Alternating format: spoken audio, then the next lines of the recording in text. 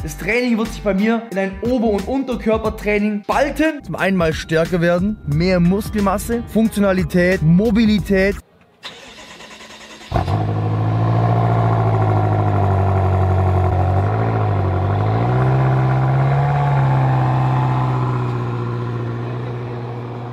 Ich habe diesen Mercedes-Benz GLK, weißt du, diesen, diesen Mercedes-Benz äh, Jeep da. Vor allem, das war richtig krass, weil da haben wir sie Anführungszeichen so ein bisschen, ja, so ein bisschen jetzt verarscht, gesucht halt nach Autos und wollte nächstes Jahr holen. Und dann hat sie einen gefunden und ich habe das halt so überhört und habe dann gemerkt, hey, die hat auf den Wagen übelst Bock drauf. Und äh, dann haben mein Dad und sie einen gefunden, wo sie gesagt haben, hey, den wollen sie haben. Und dann habe ich meinen Dad angerufen und meinte, hey, das müssen wir folgendermaßen machen. Du sagst es jetzt ab, sagst, nee, das war ein Unfallwagen, den kann man nicht mehr nehmen. Und dann gehe ich her, kauf den und schenke ihn ihr. Ich will natürlich auch, dass sie im Endeffekt den perfekten Wagen hat, den sie immer haben wollt. Und nicht einfach, jetzt, nicht, dass ich jetzt quasi den falschen Wagen kaufe. Das heißt, sie hat ihn jetzt im Endeffekt eins zu eins ausgesucht, dachte, dass sie ihn jetzt im Endeffekt halt kaufen muss. Dann gab es die, die Absage, sie war auch anscheinend übelst abgefuckt. Also mein Dad musste sich im Haus anscheinend schon ducken. Und jetzt holen wir den quasi direkt in, äh, in Cottbus holen wir den ab. Also es wird eine richtig lange, eklige Fahrt. Aber ich freue mich da übelst drauf. Das wird extrem, extrem geil. Oh, jetzt sind wir gleich daheim, Leute. Hey. Schatzi, was läuft? Du bist im Vlog. Noch eine ganz kurze Sache, weil ich bringe die fast nie auf Kamera. Ihr seht, die sind schon wieder fast komplett weg. Das sind die veganen Koro Bio-Bärchen. Die sind übelst geil. Für die Kerstin und mich ist es perfekt, weil die Kerstin mag nämlich die roten und ich mag die anderen alle. Außerdem, Leute, Karl 5 auf alle Koro-Sachen, wie ihr hier seht. Die Kerstin probiert jetzt gerade, wir essen eigentlich sau wenig Ersatzprodukte. Das ist nochmal ein Statement zu Soja und Weizenkleber als Eiweißquelle. Erstens mal essen wir gar nicht so viel Protein. Aber wir testen jetzt mal bei diese Hacksteaks und allgemein, Leute. Ich esse eigentlich zu 90% vollwertig und ich esse Ersatzprodukte und Supplements machen bei mir vielleicht 5 bis 10% aus.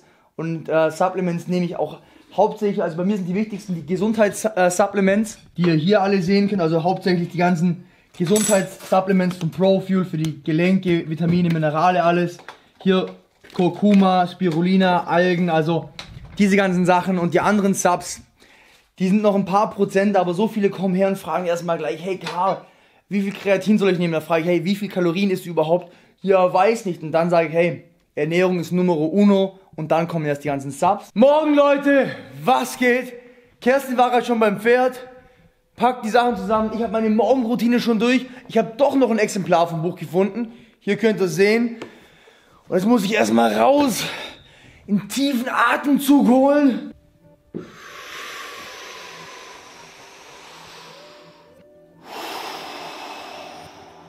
Jetzt fahren wir also ins Gym und was ich jetzt machen werde ist, ich fange dieses Jahr noch, kurz vor Silvester, ich muss nicht auf Silvester warten, ein neues Trainingsprogramm an. Das heißt also, ich mixe jetzt im Endeffekt zwei Hauptelemente, beziehungsweise drei Hauptelemente. Ich will natürlich zum einen mal stärker werden im Bereich Powerlifting, bei den Grundübungen vor allem, also wirklich schweres Training, hartes Training, niedriger Wiederholungsbereich, stärker werden, intramuskuläre Koordination. Punkt Nummer eins. Punkt Nummer zwei wird sein, Hypertrophie.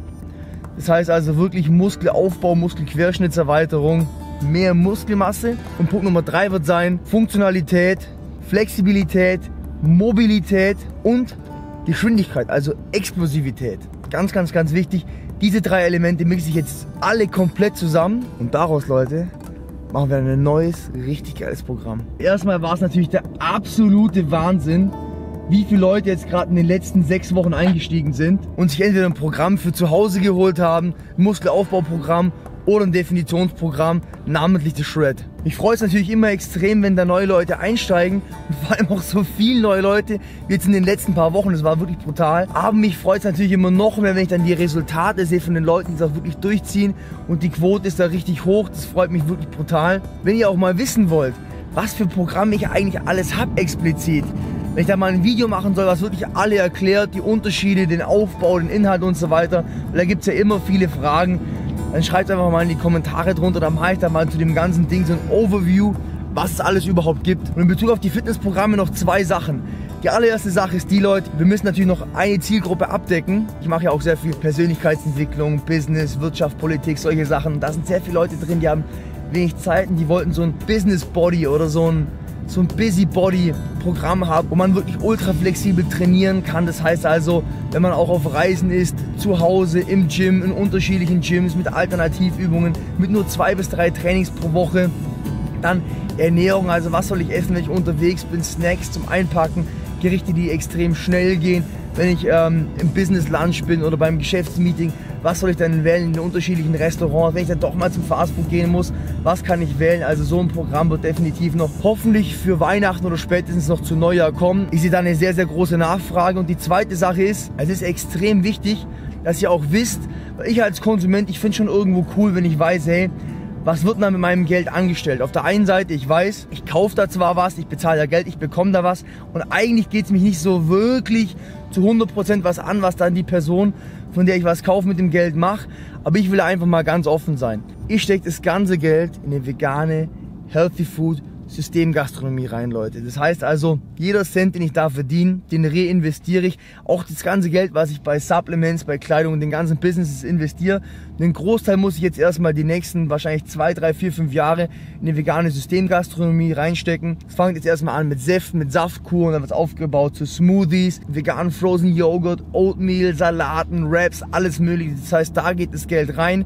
Das schafft nachhaltiges Business, nachhaltige Arbeitsplätze, schafft ein Angebot von nachhaltigen Produkten. Das heißt also, dann seid ihr wirklich Teil von was richtig, richtig Geilem. Und jetzt gehen wir erstmal ins Gym. So, die Kerstin und ich, Leute. Oh, war gerade ein Typ aus der Schweiz extra hier im Fit One. Soweit müsst ihr nicht fahren, denn am 16.12. ist in Nürnberg das große Opening. Kostenloses Buffet, Training, Riesenaktionen, kommt vorbei, es wird mega nice. Jetzt hauen wir im Training rein. Also Leute, das Ganze wird bei mir folgendermaßen aussehen. Ich werde einen Zweiersplit machen. Ich empfehle sowieso für alle Leute, die noch nicht 5 bis 10 Kilo oder gar 15 Kilo Muskelmasse aufgebaut haben, dass sie erstmal ein Ganzkörpertraining machen. Ja? Und dann kann man später mal einen Zweiersplit machen. Ich werde die erste Übung immer so gestalten, dass ich jetzt ein neues Progressionssystem habe. Das heißt also sehr schweres Training, mehrere Sätze zwischen 1 bis 5 Wiederholungen. Dazu später in kommenden Videos und ich werde das Ganze auch periodisieren und damit einfach ein paar Kraftplateaus brechen.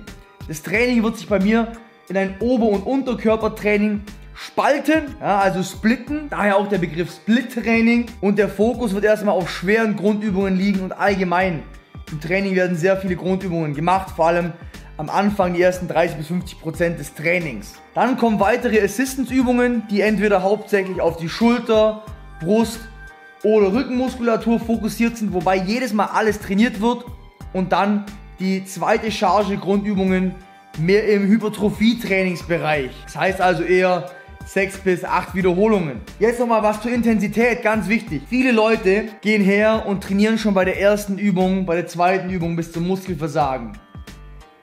Somit wird nicht nur schon während der ersten und zweiten Übung das Leistungsniveau unproportional stark abfallen, sondern man kann dann auch in den weiteren Übungen nicht mehr richtig Vollgas geben, keine adäquate Leistung mehr bringen. Und wer in der ersten und zweiten Übung sich schon völlig raushaut, bis er ans Muskelversagen geht, der wird einfach sein zentrales Nervensystem extrem stark belasten. Vor allem bei Grundübungen, vor allem bei Dingen wie beispielsweise Kreuzheben und bei Wiederholungsbereichen von 1 bis 6 Wiederholungen. Dort ans Muskelversagen zu gehen, ist definitiv auf lange Frist nicht sinnvoll. Man kann sich da vielleicht ein paar Wochen lang steigern, aber da kommt man dann recht schnell an ein Plateau ran. Ganz hingegen jetzt ganz am Schluss bei den Isolationsübungen im Wiederholungsbereich von 10 bis 15 Wiederholungen für kleine Muskelgruppen, Bizeps, Trizeps, Schulter, bei Übungen wie Trizeps drücken, Seitheben, Bizeps Curls, da kann man wirklich komplett Vollgas geben. Da kann man bis zum Muskelversagen trainieren, weil in diesem höheren Wiederholungsbereich und bei diesen Übungen, wo auch nicht so viel Gewicht verwendet wird, bei Isolationsübungen, da kann man das zentrale Nervensystem kaum überlasten. Das heißt, da kann man wirklich dann gegen Ende vom Training bei den kleinen Übungen nochmal richtig Vollgas geben, dass man da nochmal in Schulter, Bizeps, Trizeps, Waden und solche Muskelgruppen nochmal richtig Volumen reinkommt. Das heißt, hier jetzt mal ein paar Tipps. Das Training von mir, das werde ich jetzt in den nächsten Wochen und Monaten dokumentieren, auch wie ich mich da krafttechnisch und auch körperlich von der Optik her weiterentwickle. Dann werden wir diese ganzen einzelnen Aspekte nochmal weiter im Detail erleuchten. Ich hoffe, es war ein bisschen aufschlussreich, ihr konntet was mitnehmen. Und Leute, Nicht vergessen, wenn ihr noch nicht wisst, welches Trainingsprogramm, welches Ernährungsprogramm für euch das best geeignetste ist, macht mal den Körpertypentest, schaut in welche Kategorie er reinfällt. Hier ist er. Viel Spaß damit. Abschließendes Essen. Und für die Leute, die sagen, hey Carlos, hast gestern Abend das gleiche gegessen. Ja, habe ich. Mache ich auch fast immer.